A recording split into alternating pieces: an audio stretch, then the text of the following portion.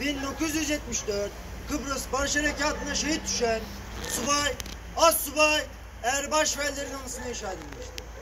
Şehitlik adını 50. Piyade Alay Komutanı olarak harekata katılan alay ile birlikte Yavuz çıkartma plajına çıkmış ve harekatın ikinci günde yapılan saldırıda harekat esnasında komuta yeri olarak seçilen günümüzde ise Barış ve Özgürlük Müzesi olarak kullanılmakta olan Eminönü'nde hala hazırda Ercan Havalimanı ismini veren pilot kıdemli binbaşı Fehmi Ercan ve Sığıyer Mustafa Girgin ile birlikte şehit düşen piyade kıdemli albay Halil İbrahim Kahramanlı'ndan almaktadır.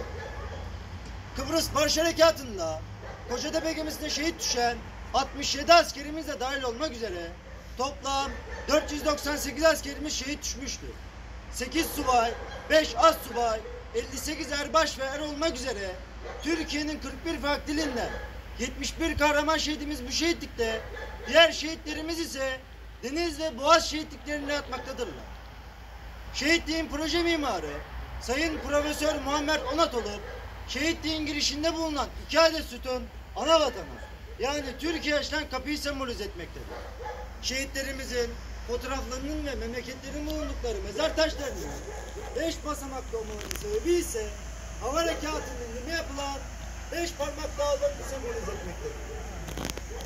Sol tarafımızda bulunan heykel grubu Kıbrıs'ı, sağ tarafınızda bulunan heykel grubu ise Türkiye'yi temsil etmektedir. Bir yanda yılların özgürlük mücadelesini vermiş, yorgun ve gururlu Kıbrıs mücahitleri, diğer yanda kardeşlerinin yardımına koşan kahraman Türk askerleri. İki heykel grubu arasında bulunan bu boşluk ise Türkiye açılan pencereyi sembolize etmektedir. Heykel gruplarının dört ayrı ayak üzerinde inşa edilmelerinin sebebi ise harekatın dört sıcak gün sürmüş olmasıdır. Sol başta bulunan Gemiburnu figürü deniz kuvvetlerini, sağ başta bulunan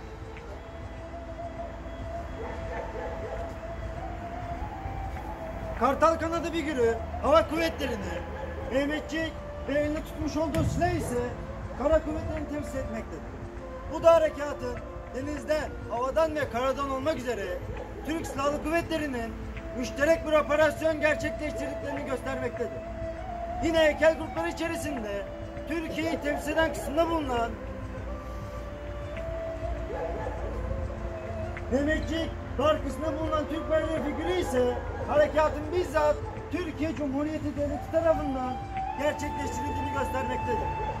15 Kasım 1983 tarihinde Kuzey Kıbrıs Türk Cumhuriyeti ilan edilmiş ve bağımsızlık bildirisi Sayın Rauf Raif Tektaş tarafından okunmuştur. Mehmetçik adını, tadını, kokusunu ve ruhunu kahramanlıktan alır.